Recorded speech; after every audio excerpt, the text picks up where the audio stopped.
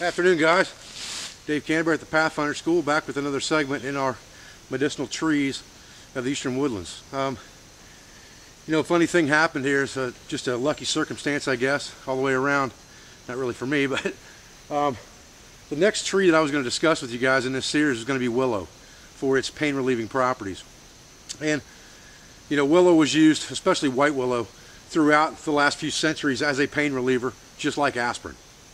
Black willow, on the other hand, which grows a lot prevalent in eastern woodlands around water, like the bark that I'm getting ready to harvest now, um, was not so much used for pain relieving properties as it was for male libido and things like what Viagra was used for in the 19th century. But it has the same pain relieving properties as white willow bark, but it has none of the side effects of aspirin. So it's a very good, handy plant, and you can process it several different ways. You can make a decoction from the bark, which is what we're going to do today, um, or you can make a herbal tea from the bark, depending on how strong you want it to be, or you could make a tincture, which means that you soak the bark, the inner bark, in alcohol for a given period of time and let those oils absorb into the alcohol, strain it off, and then you take it drop by drop, and that's called a tincture. We're going to make a slight decoction out of it today and mix it with another plant that we'll talk about. And the reason I say this is kind of fortuitous is, you know, I just got back from an Everglades advanced class, and obviously after four days of sleep deprivation, food deprivation, water deprivation, your body seems to lose its immune system or its ability to fight off common germs. And I got home and both of my grandchildren had the flu. And now, you know, I woke up this morning and I'm aching all over, aching all the way to the bone. It hurts to walk, it hurts to talk, it hurts to move. I'm getting a lot of chills. So we're going to mix another plant that I'm going to talk to you about in a few minutes with the willow to make ourselves a concoction for influenza. But let's get some of this willow bark harvested first and then we'll move on to the next plant. Stay with me, boys. Okay, so this is our willow tree and you know, as you can see in the beginning of this film, there's not a whole lot of bloom left on this tree because it's toward winter months. So it pays you to understand the properties of it, what the inner bark looks like, what the bark looks like, what the branches look like in the wintertime, where it grows, understand where that resource might be. This resource is on the Pathfinder property. I know exactly where it's at. It's about seven or eight acres into the property around a pond, but I know where it's at in time of need. So now what I'm going to do is, I don't want to kill this tree, so I don't want to wring the bark off of it, but I do want some inner bark. So I'm going to hack down into this thing a little bit and just take a strip off of here if I can, just like that. And you can see now I've captured that cambium layer of bark inside. I've got that inner bark right underneath the outer bark, and that's what I really want. Now I'll take this back to my camp and I can dry this out. And obviously I can use that inner bark for fire tinder as well, but this inner bark is what I'm really looking for at this point. This also makes very, very good cordage. But for now, it's going to make a pain relieving medicine for us.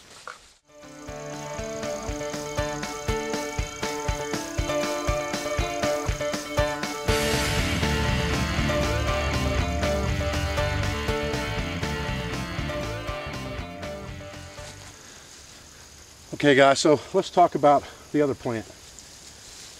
I gave you a, a, pretty up close and personal video of this thing a minute ago, and this is called boneset, okay? And boneset is a plant that I would suggest you have in your top eight. If you follow the Pathfinder system and you have eight medicinal plants and eight wild edibles that you keep in your toolbox for use all the time, boneset should be very high on your list of medicinal plants.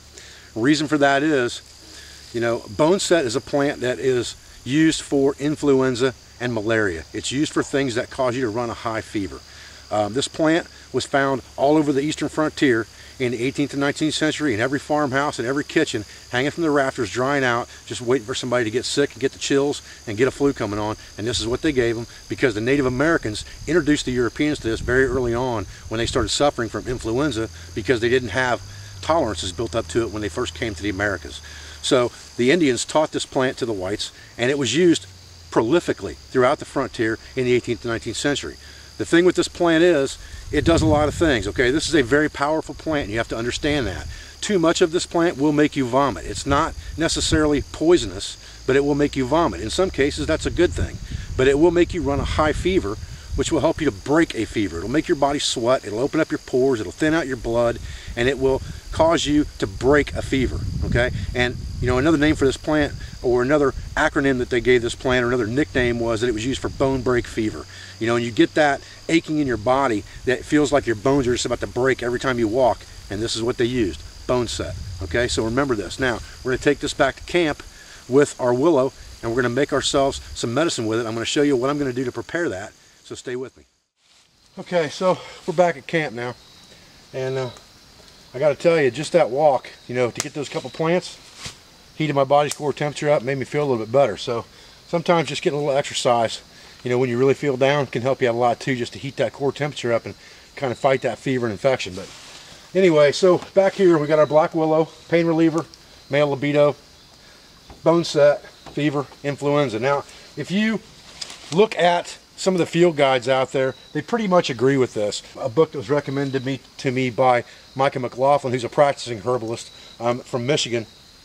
But I compared it with the pamphlets from Waterford Press and from the Eastern Field Guide uh, by Peterson, and they all pretty much agree. And the good thing about that is, is that you can take those big healthy books like, you know, medicinal plants and things like that that are this thick and this big, and you can put them on the shelf. And in your haversack, you can carry that small flip out pamphlet, doesn't weigh anything.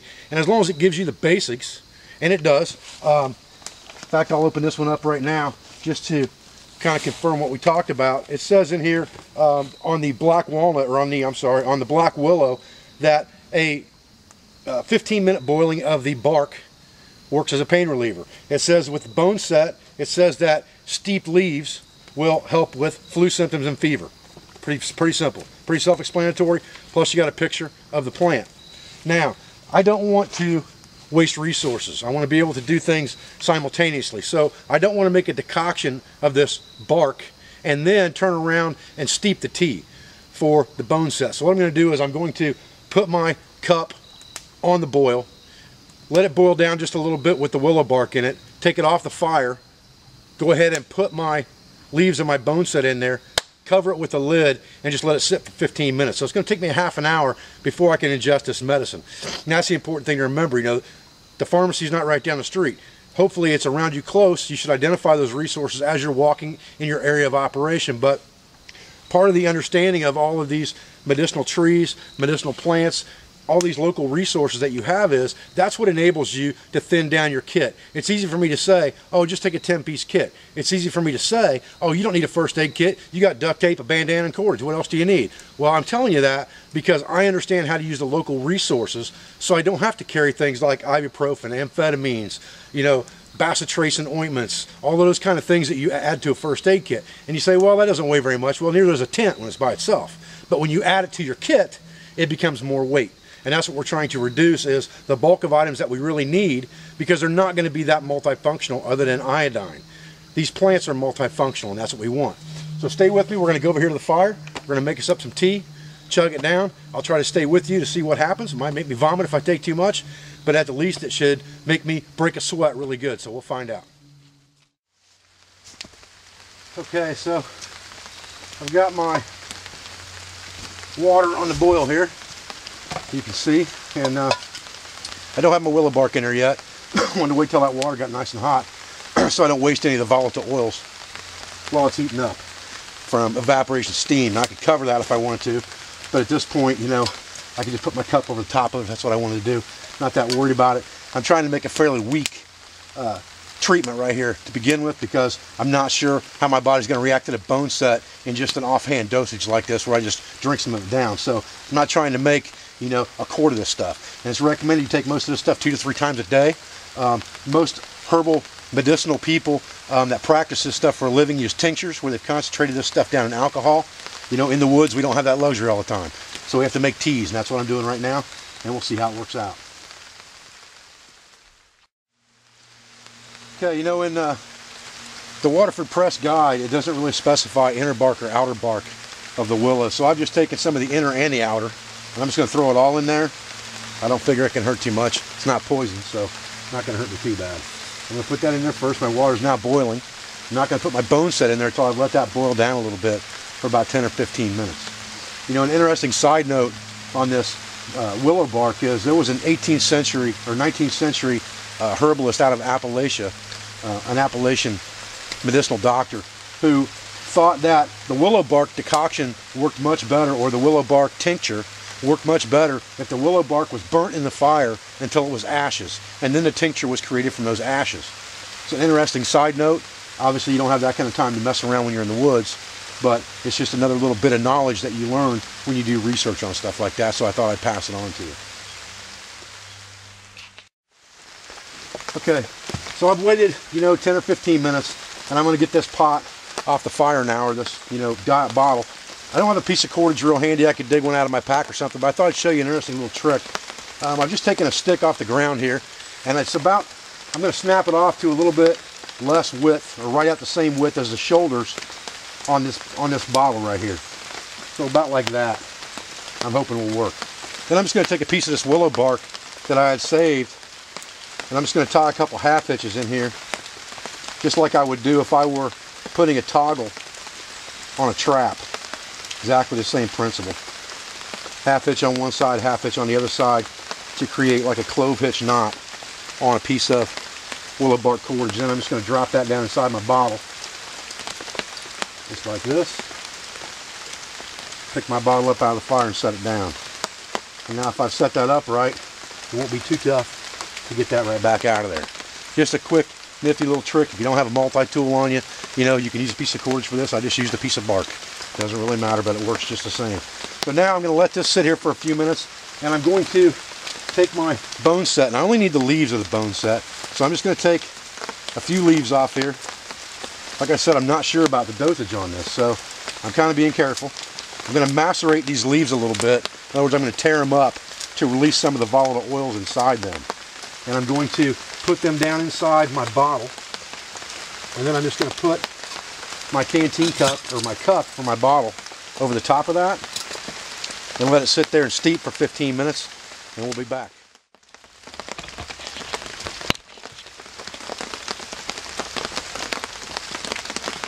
Okay, I took our mixture here and took it over the creek and dumped the bottle in the creek so that I could cool the water down a little bit before I poured it off. And now I'm going to take my cup and strain this mix through a piece of cotton. This thing's not too hot to hold on to.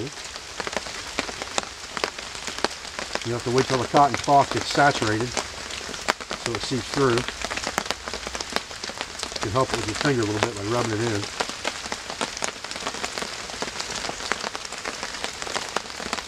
I've got two layers of cotton here to double this material over. I could have used one, but not hurting anything to use two. I don't need a whole lot of this. You know, I made enough of this for at least a couple of doses.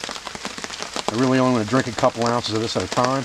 And that's the really important thing to remember when you start messing around and experimenting with medicinal plants. Anything that you read for a dosage, you know, half it to begin with until you see how your body's going to react to it because everybody's different.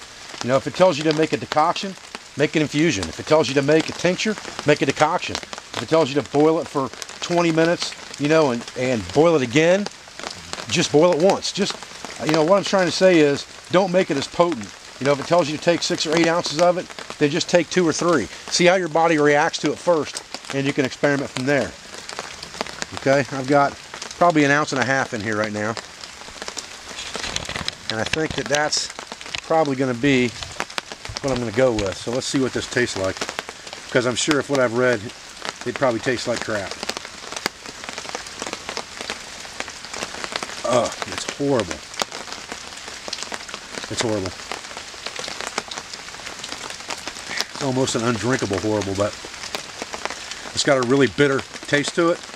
And things that are bitter like that usually are the things that warm your body up, so that's good.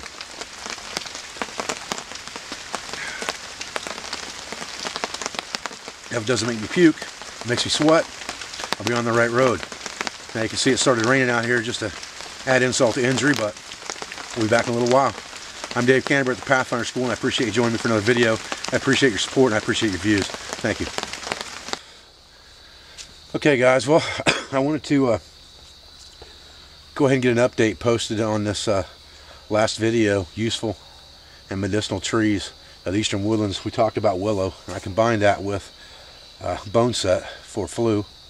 It's been two hours now. I'm going to tell, but I want you to understand, you know, what's going on with this bone set and willow um, tea that I made, basically, part decoction, part infusion. Um, it's been two hours. I didn't take very much. Um, I can feel my core heated up. The pain in my joints and things like that is pretty much gone.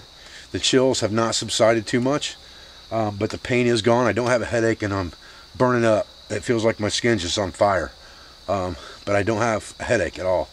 Um, I have had to urinate twice in the last hour, and that's very uncommon for me. Um, I usually walk around dehydrated most of the time by, you know, true standards. Um, my urine is typically straw yellow all the time, and I've had to urinate twice, you know, recently here, and it actually almost burned both times. So I don't know if uh, that's the medicine trying to kick something out of my body, you know, or what it is exactly. But uh, I think that my body's reacting okay to this. So I'm gonna, instead of waiting the four hours that I would normally wait to take it again, I'm gonna go ahead and go with two hours. And I'm gonna shoot another ounce and a half of this in me real quick and see what that does. Like I said, this is the nastiest thing I've ever tasted in my entire life. But uh, if it works, it'll be well worth it.